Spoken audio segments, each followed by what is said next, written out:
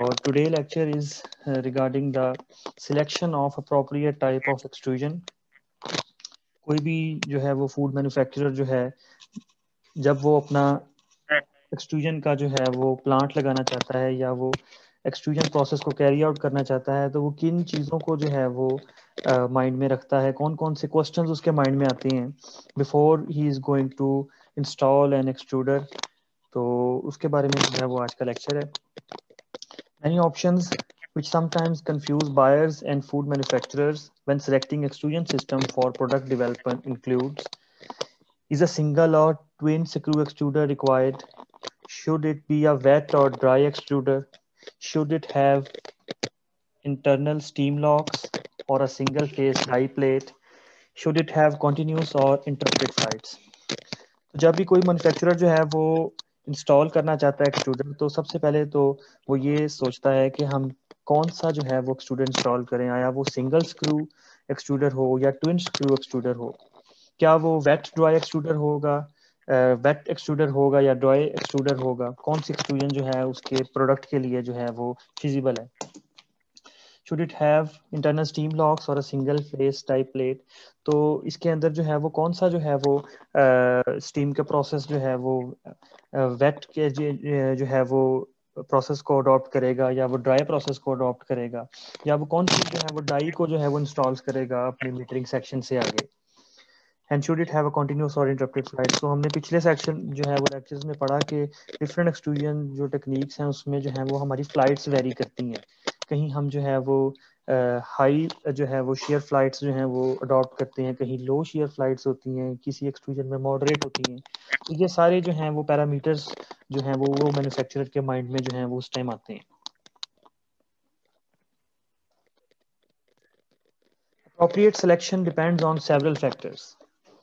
So number one is the physical and sensory properties of the end product. This is the first and the most important criteria when you are going to select the type of an extruder.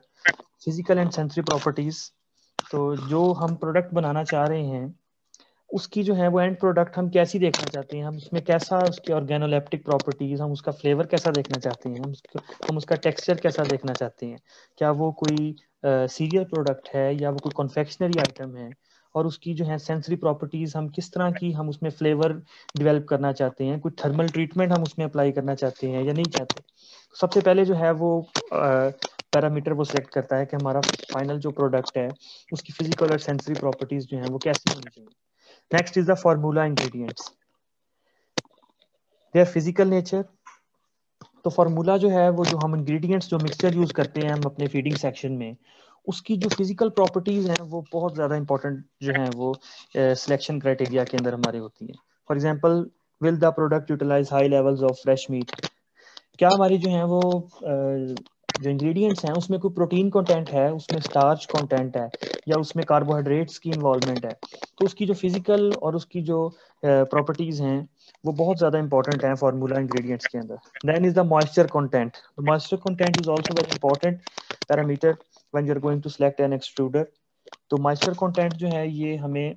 पहले भी जो है वो product की extrusion से पहले भी we have to know about the moisture content of our materials also have to control and notify the moisture content throughout our extrusion process हमें जो है वो पता होना चाहिए कि हमारा मॉइस्चर लॉस कितना हुआ एक्सट्रूजन कोई भी परफॉर्म करके और पहले इसका मॉइस्चर कंटेंट क्या था। कंटेंट अवेलेबिलिटी और seasonal ingredients substitute ingredients that may be used occasionally. अगर कोई भी जो है वो मैन्युफैक्चरर जो है वो एक्सट्रूजन प्रोसेस को कैरी आउट करना चाहता है तो उसको ये पता होना चाहिए कि उसके इंग्रेडिएंट्स जो हैं वो, उसकी अवेलेबिलिटी जो है वो थ्रू आउट द ईयर वो पॉसिबल है कि नहीं। ऐसा ना हो कि वो अपना इंस्टॉल करके बैठ जाए और उसने अपनी एक्सट्रूजन स्टार्ट कर दी हो, लेकिन जो है वो हाफ़ सीज़न के बाद उसकी सीज़न जो है वो कुछ फ्लोर की शॉर्टेज हो गई है या उसकी कुछ स्पाइसेस हैं जो अब उसकी जो अवेलेबिलिटी नहीं है। तो उसकी कांस्टेंट अवेलेबिलिटी उसको होनी चाहिए या फिर उसको जो है वो स्टोर करना चाहिए अपने इंग्रेडिएंट्स को। Substitute ingredients that may be use occasionally अगर तो कुछ इंग्रेडिएंट्स जो हैं वो उसकी अवेलेबिलिटी uh, नहीं है किसी सीज़न में तो उसके कुछ सब्सटीट्यूट अल्टरनेटिव इंग्रेडिएंट्स जो हैं वो मैन्युफैक्चरर को अडॉप्ट करने चाहिए और उसको उसके बारे में पहले से जो है उसकी uh, जो है वो नीड uh, पूरी करनी चाहिए।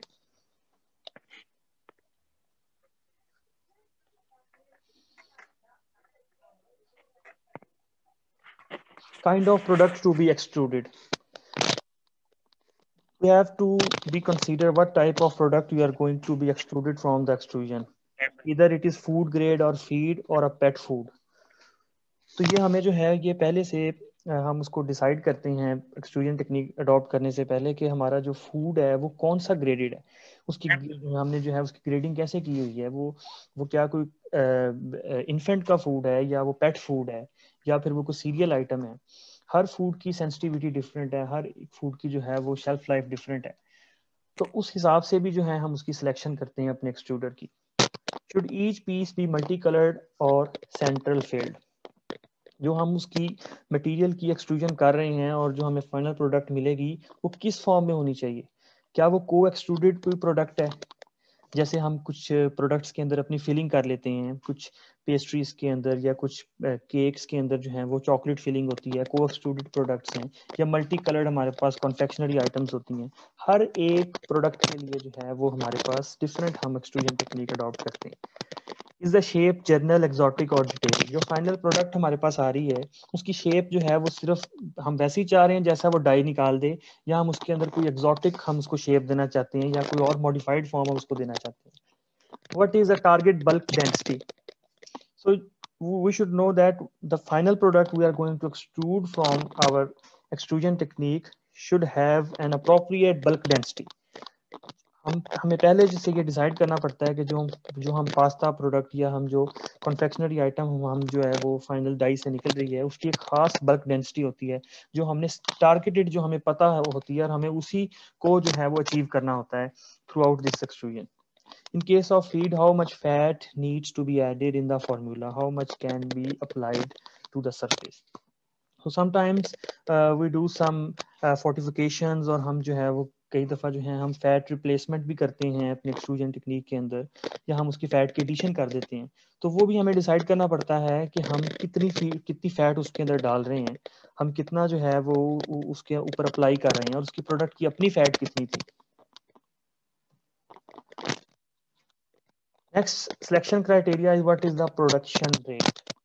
The size of an extruder depends on market size, since extruder function best operating at full throughput per hour. So we should decide our production rate. We should know our production rate because we have to fulfill the demand and supply chain in the food market. तो हमें जो है वो अपना production rate जो है उस पर बहुत फोकस करना पड़ता है क्या वो हमारा प्रोडक्शन रेट जो है वो कम तो नहीं जो हम एक्सट्रूजन हमने जो टेक्निक अडॉप्ट की है तो हमें जो है ये जो क्योंकि डिमांड एंड सप्लाई की जो चेन है वो भी हमें अपनी और अपने बिज़नेस का भी जो है हमें प्रॉफिट जो है वो देखना पड़ता है। तो प्रोडक्शन रेट जो है वो हमें बहुत ज़रूरी होता है, जिसपे हमें फोकस करना पड़ता है स्टूडेंट की सिलेक्शन में। What is the source of energy steam or electricity more economical whether the extrusion plant will be built तो इसके अंदर जो है वो हम क्या सोर्स ऑफ़ एनर्जी यूज़ कर रहे हैं अपने एक्सट्रूजन को चलाने के लिए? क्या वो स्टीम है या इलेक्ट्रिसिटी है? या वो हमें जो है वो बहुत ज़्यादा महँगी पड़ रही है और हमारा प्रोडक्ट भी बहुत ज़्यादा एक्सपेंसिव जो मटेरियल लग रहे हैं और हमें एंड के ऊपर प्रॉफिट कोई नहीं आ रहा? तो हमें इकोनॉमिकल जो है वो सोर्स ऑफ़ एनर्जी अडॉप्ट करनी पड़ती है।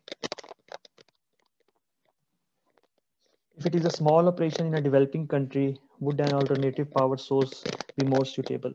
तो ये भी आपने जो है वो देखा कि फॉर एग्जांपल जो अंडर डेवलप कंट्रीज़ हैं डेवलपिंग कंट्रीज़ हैं, उनके अंदर अगर हम देखते हैं कि अगर हमारा छोटा सा ऑपरेशन है, हमने सिर्फ़ जो है वो एक्सट्रूजन करनी है, कुछ लिमिटेड टारगेट है हमारा तो हम कुछ अल्टरनेटिव सोर्स जो है वो अडॉप्ट कर लेते हैं, जहाँ जहाँ कोई, जिस कंट्रीज़ में कोई लोड शेडिंग का प्रॉब्लम हो, जहाँ हमें इलेक्ट्रिसिटी की जो है वो कॉन्टिन्यूस जो है सप्लाई नहीं है तो हमें पहले से इंस्टॉल करने से पहले अपनी इलेक्ट्रिसिटी सप्लाई जो है, उसके बारे में जो है वो हमें पता होना चाहिए what about capital availability and the recovery rate target would a huge extruder fill the need better for a startup operation so if a person wants to run his extrusion business or want to install an extruder he should know about his investment about his capital तो उसको जो है पहले से अपने capital के ऊपर जो है वो पूरा जो है वो उसकी फिजिबिलिटी चेक करनी पड़ेगी, उसको रिपोर्ट बनानी पड़ेगी, कितनी उसके पास इन्वेस्टमेंट है। क्या वो उसके पास अगर कम इन्वेस्टमेंट है तो वो कोई यूज़ एक्सट्रूडर जो है वो भी परचेज कर सकता है कंपनी से और वो अपना जो है वो इससे प्रॉफिट जो है वो प्रॉफिटेबल बिज़नेस इससे बना सकता है अपना। तो ये डिपेंड करता है कि आप कौन सा एक्सट्रूडर जो है वो सिंगल स्क्रू है या ट्विन स्क्रू है तो हर एक की जो है वो इंस्टॉलमेंट डिफरेंट है, उसके क्राइटेरिया डिफरेंट है। और हर एक के अंदर जो है वो आपकी मुख्तलिफ़ जो है वो कॉस्ट ऑपरेशन अलग हैं मेंटेनेंस उसकी अलग है, उसकी इंस्टॉलमेंट के जो है वो चार्जेस उसके अलग हैं। तो ये तमाम जो फिजिबिलिटी रिपोर्ट्स हैं, ये एक मैन्युफैक्चरर को जो है वो अडॉप्ट करनी पड़ती हैं before he is going to select the type of the extrusion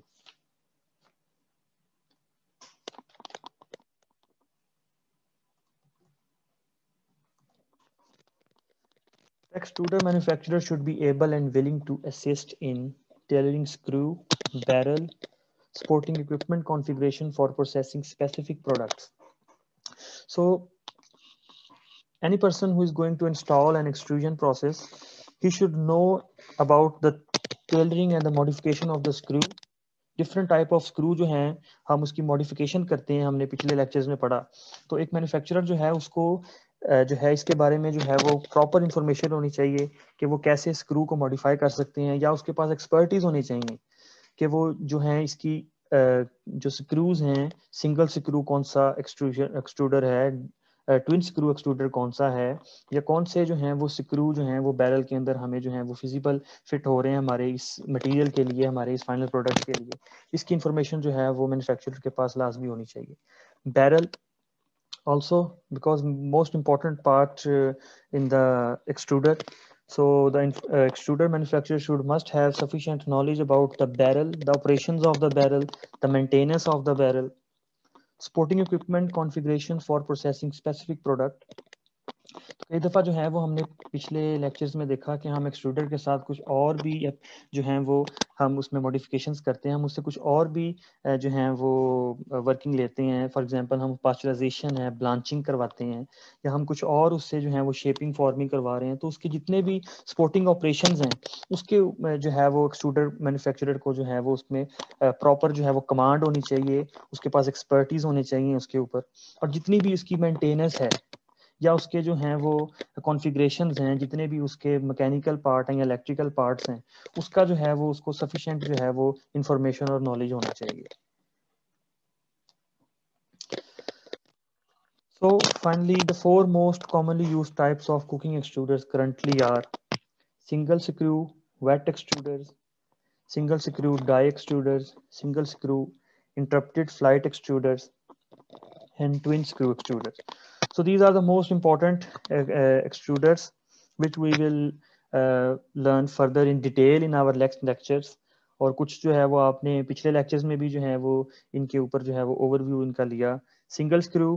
wet extruders from from its name जो है एक तो सिंगल स्क्रू का इस्तेमाल है। And wet extruder due to the involvement of water और steam single screw die extruders uh, have no involvement of uh, any uh, type of steam uh, and totally a mechanical process single screw interrupted flight extruders so as its name suggests interrupted flights so a lot of interrupted fly flight and shear forces are involved तो इसके अंदर जो है ये हम आगे detail में जो है वो नेक्स्ट लेक्चर्स में भी इसके बारे में पढ़ेंगे and twin screw extruder from its name the installment of two screws of same length in a same barrel. So as you are seeing from this picture, single segmented wet extruder. So it also involves the feeding section, the compression section, the molding section, the die section. तो इसके अंदर जो है वो हम pre conditioning phase भी हम जो है वो इसके अंदर जो है वो इंस्टॉल कर सकते हैं। और इसके बारे में हमने पिछले लेक्चर्स में भी जो है वो कुछ सिंगल स्क्रू के बारे में पढ़ा था। तो ये जो फोर मेन टाइप्स हैं उसकी वन ऑफ़ द टाइप है single segmented wet extruder Next is a, uh, you can see the picture of a typical dry extruder and typical dry extruder with pre-conditioners. So as uh, we have learned that uh, dry extruder is uh, without the involvement of steam uh, and uh, totally a mechanical process. तो इसके जो है हम इसके further जो है वो अगले लेक्चर्स में इसको डिटेल से भी पढ़ेंगे typical interrupted flight extruders so this is uh, mechanically different from the other types of extruders uh, because it was developed from a single press और इसके अंदर जो है वो रिवॉल्विंग इंटरप्टेड फ्लाइट्स जो हैं वो मटेरियल को जो पुश करती हैं और आगे हमारे सिलेंडर जो है वो बैरल की तरफ़ और फाइनली जो है वो एंड से हमें जो है वो प्रोडक्ट हमारे पास आ जाती है। इसको भी हम डिटेल में देखेंगे further lectures and finally we have the typical twin screw extruders. So we have learned uh, some about in the previous lectures uh, the installment of two screws of same length uh, in the same barrel तो इसके अंदर जो है वो हमने पढ़ा था कि हमें जो है वो कम शेयर फोर्स लगानी पड़ती है और जो हमारे स्टिकी मटेरियल्स होते हैं या कुछ जो हमारे पास जो सिंगल स्क्रू में फिजिबल नहीं होते मटेरियल्स उनके लिए हम ये अडॉप्ट करते हैं and further we have two types counter rotating twin screw extruders and co-rotating twin screw extruders. So finally, after proper selection of an extruder, जब एक मैन्युफैक्चरर जो है वो प्रॉपरली सिलेक्ट कर लेता है कि कौन सी जो है वो एक्सट्रूजन टेक्निक उसके मटेरियल के लिए जो है वो फिजिबल है तो उसके बाद जो है वो उसकी जो आ, कुछ जो है वो पोस्ट केयर जो है वो क्या वो एक्सट्रूडर मैन्युफैक्चरर को करनी चाहिए। Number one is the proper installment तो जब वो उसको सिलेक्ट कर ले कि ये वाला जो है वो मैंने एक्सट्रूडर जो इंस्टॉल करना है अपने इस प्रोसेस के लिए तो उसकी जो है वो प्रॉपर इंस्टॉलमेंट जो है वो उसको, उसकी करे। उसके जो है वो जितने भी उसके फीडिंग सेक्शन है या उसके स्क्रू है, उसका बैरल है, वो प्रॉपरली जो है वो फिक्स होनी चाहिए, उसमें कोई लीकेज नहीं होनी चाहिए। जितनी भी उसके जो सप्लाई आ रही है उसकी फीडिंग की हमने पहले भी इसके देखा कि वो प्रॉपर कॉन्टिन्यूस होनी चाहिए उसके अंदर कोई जो है वो पॉज नहीं होने चाहिए इरेगुलर और जो एंड की उस पर डाई है या उसके कटर्स हैं वो प्रॉपरली इंस्टॉल होने चाहिए. So he needs expertise may be some mechanical team for this number second is the adequate maintenance so after जो है वो इंस्टॉलमेंट uh, के बाद जो है ये बहुत ही जो है वो एक सेंसिटिव सा एक प्रोसेस है, जिसके अंदर हमारे पास बहुत ज़्यादा जो है वो मैकेनिकल टूल्स की इन्वॉल्वमेंट है। तो इसकी मेंटेनेंस बहुत ज़्यादा ज़रूरी है। इसका जितने भी इसके सेक्शंस हैं, उसके अंदर जो है वो कोई हमारे पास जो है वो कंटेमिनेशन भी हम देखते हैं। क्रॉस कंटेमिनेशन जो मेटल की हो सकती है फ़ूड के साथ, वो भी हमें देखनी पड़ती है। इसमें कोई टेस्टिंग तो नहीं हो रही किसी मेटल पार्ट की, या हमारी जो डाई है, उसके जो है वो परचेज बिल्कुल करेक्ट हों, जो हमारे ब्लेड्स हैं वो प्रॉपरली कट कर रहे हैं हमारे उस फाइनल प्रोडक्ट को। तो एडिक्वेट मेंटेनेंस जो है वो थ्रू आउट इसकी जो है वो उसकी रिक्वायरमेंट होती है। Operator training anyone who is going to operate this extruder needs proper training. Either he is a, a mechanical engineer और may be a food technologist तो उसकी जो है वो प्रॉपर जो है वो ऑपरेटर ट्रेनिंग जो है वो उसकी ज़रूरी है। थ्रू आउट जो है वो from from the selection of the ingredients to the final product we are going after from the meeting section तो इसकी प्रॉपर ट्रेनिंग जो है वो फ़ूड मैन्युफैक्चरर को चाहिए कि वो उसको खुद भी जो है वो ट्रेनिंग हो और जिससे वो वो अपने जिस एम्प्लॉय से जो है वो ये काम ले रहा है, उनको भी प्रॉपर ट्रेनिंग दे।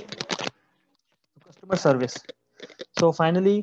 जो है वो जब हमारे पास ये एक्सट्रूशन जो है, इसमें अगर कोई प्रॉब्लम आ रही है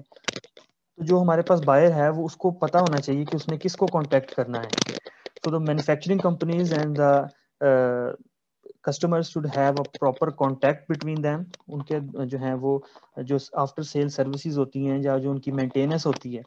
तो उनकी आपस में जो है वो गुड रिलेशन होना चाहिए और उनकी जो है वो आ, हमारे पास प्रॉपर जो है वो बुक्स के अंदर जो है वो कॉन्टैक्ट्स होने चाहिए उनके ताकि जो है वो हमने आफ्टर जो सेल सर्विसेज़ लेनी है या हमने स्पेयर पार्ट्स लेने हैं तो हमें प्रॉपरली टाइम के ऊपर जो है वो उसकी अवेलेबिलिटी हो जाए। Okay, thank you. This is all for today's lecture.